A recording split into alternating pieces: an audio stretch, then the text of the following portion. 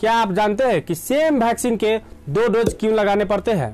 Covid 19 मतलब corona virus disease of 2019 जो कि पूरे दुनिया में फैल रखा है। टू वर्ल्डोमीटर पूरे विश्व में 46 लाख से ज़्यादा लोग मर चुके हैं अभी तक। ऐसे परिस्थिति में सबसे राहत वाली बात यह है कि बहुत टाइप्स के वैक्सीन आ चुके हैं और लगाया जा रहा है।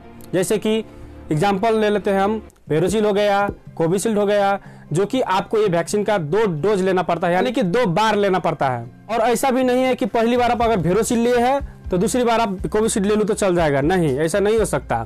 आप जिस वैक्सीन फ़र्स्ट डोज में लिए हैं, वही वैक्सीन आपको सेकेंड डोज में भी दिया जाएगा। पर सवाल है कि एक बार वैक्सीन लेने से काम क्यों नहीं चलता? ये दो बार वाला सिस्टम क्यों है? तो इसके लिए आपको ये समझना होगा कि वैक्सीन हमारे बॉडी के लिए करता क्या है। जब हम लोग वैक्सीन लगा लेते हैं ना तो हमारे बॉडी के अंदर क्या होता है? एंटीबॉडी तैयार होने लगता है उसी स्पेसिफिक वायरस के लिए या फिर उसी स्पेसिफिक बीमारी के लिए। अब आप कहेंगे कि एंटीबॉडी क्या होता है?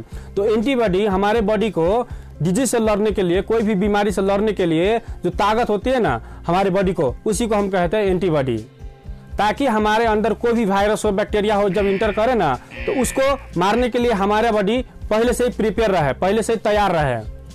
साइंटिस्ट और डॉक्टर जब रिसर्च कर रहे थे तो ये पाया गया है कि जो लोग वैक्सीन का फ़र्स्ट डोज ले चुके हैं, उसमें एंटीबॉडी बनने का प्रोसेस बहुत ही स्लो चल रहा है, यानी कि धीमी रफ्तार में चल रहा है। और उसी वैक्सीन का सेकेंड डोज लिया हुआ आदमी में रिसर्च हुआ तो ये पता चला कि उस आदमी में एंटीबॉडी बढ़ने का प्रोसेस बहुत ही फास्ट चल रहा है, यानी कि बहुत ही तेज चल रहा है।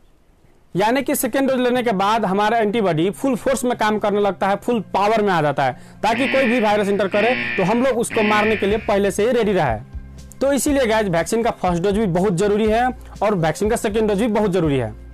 वैक्सीन के पहला डोज लेने के बाद कुछ ही वीक्स के गैप में आपको सेकेंड डोज भी लेना पड़ता है। और वैक्सीन का सेकेंड डोज लेने के बाद भी आपका बॉडी तुरंत काम करने लगता है, ऐसा भी नहीं है।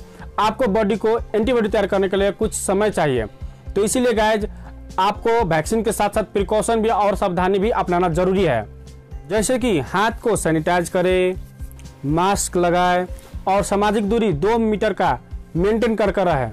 इसी के साथ साथ मैं आपको भी बता दूँ कि अगर आपके फैमिली में कोरोना वायरस से रिलेटेड कोई भी सिम्टम दिखे तो आप उस फैमिली मेंबर को होम क्वारंटाइन कर दीजिए। यानी कि उसे रहने के लिए कुछ अलग रूम का व्यवस्था कर दीजिए और उससे आप लोग भी डिस्टेंस मेंटेन कर कर रहिए। और इसी के साथ साथ आप लोग ये भी ध्यान रखिएगा कि उस व्यक्ति को सांस लेने में तकलीफ़ ज़्यादा तो नहीं हो रही है, या फिर कुछ और समस्या बढ़ तो नहीं गए या फिर फीवर बहुत तेज तो नहीं आ गया, या फिर बेहोश तो नहीं हो गया। अगर हो रहा है तो आप अपने नज़दीकी हॉस्पिटल में जाइए और डॉक्टर से कंसल्ट कीजिए। वही आपके लिए बेटर ऑप्शन रहेगा। अगर अवेलेबल हो सके तो आप बहुत ही आसानी के साथ पल्स ऑक्सीमीटर किन सकते हैं और उसी से उस व्यक्ति को चेक कीजिए कि उसका ऑक्सीजन लेवल कितना है। अगर ऑक्सीजन लेवल 90 से कम हो गया है, यानी कि 90 से कम हो गया है तो आपको तुरंत नजदीकी हॉस्पिटल में जाना चाहिए और डॉक्टर से मिल लाना चाहिए उस व्यक्ति को।